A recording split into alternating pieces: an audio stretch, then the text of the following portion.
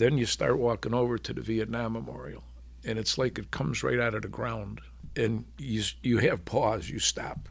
So now as you get closer, this is reality now. This is 58,000 dead people. Now my uh, guardian, she was great, great. I give her the list. There was 11 names on it, not 10. And she figured out how we're going to find everybody. We started looking at names, and the difference between looking at the name and actually touching it, it brings life to that name. And you, you sit there, I knew this guy.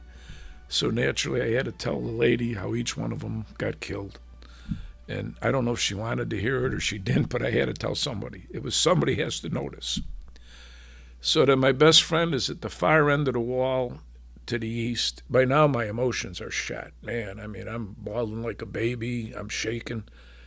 And this little volunteer lady comes up. And when I say an older woman, she's younger than me.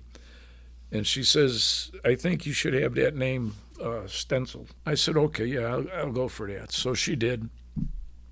And I thanked her very much. She gave me a big hug, which was nice. I'm at peace now.